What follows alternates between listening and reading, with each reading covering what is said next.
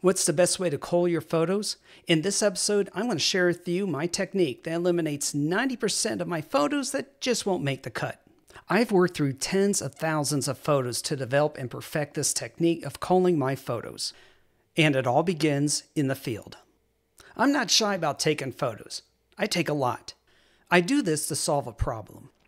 Many times I would come home from a distant location only to discover that my single shot of each composition ended in a blurry image. That's why I got myself into the habit of taking three photos and completely removing my finger from the shutter button so I force the camera to refocus. That gives me a much higher probability that I'm going to get a nice sharp photo. Once all the images have been loaded up in the Lightroom, press Caps Lock. Now this is going to auto advance each image as we go through them and rate them. First thing I do is zoom into 100% on the subject of a photo. Now you may need to give it just a few extra seconds to fully load in all of the details. If you're satisfied that the main subject's in focus, press 1. If not, press 0. Either one of these keys, since the caps lock is turned on, will auto advance to the next image. And we go through the entire reel, eliminating those photos that aren't sharp.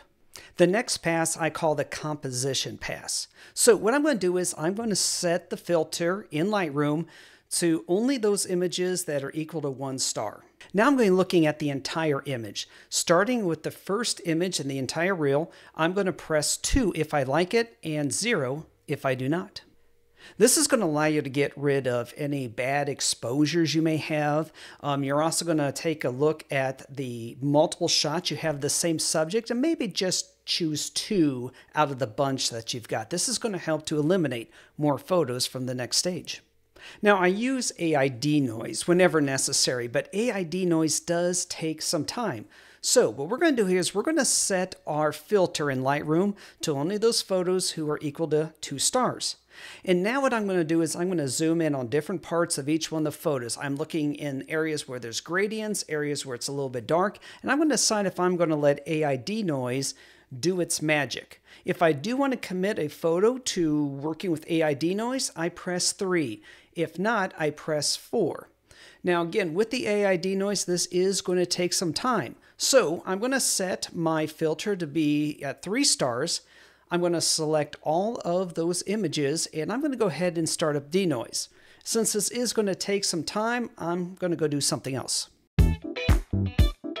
Once all of these images have finished going through AI Denoise, select all of them, press 4, and then set your filter to be 4 and we'll move on to the next stage. Now we're in the final development phase. Now, at this point, you've eliminated probably about 80 to 90% of your photos, and now we can focus our limited time on just that set that has the highest probability of looking great when you're done. That doesn't mean you have to develop every one of these images. You know, while you're going through there, you may discover some distracting elements, something you just don't like. Just press zero all right, it's going to take it out of your current set of photos and just keep developing the ones that you're interested in. When you finish your development, press 5. And then we'll move on to the last stage, which is to export your images. Set your filter to 5 stars and go ahead and export.